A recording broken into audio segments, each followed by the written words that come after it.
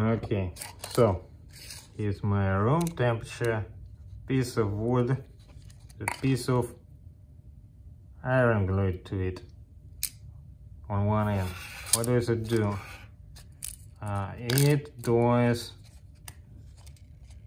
same things that we've been seeing from LK99 for the fir first few, uh, for the first week until people started uploading CGI videos. Okay, see?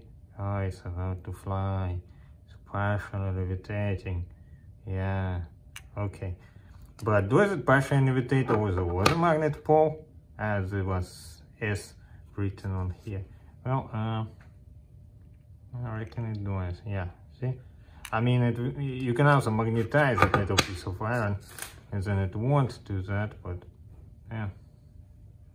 This is partial diamagnetic levitation, they call it.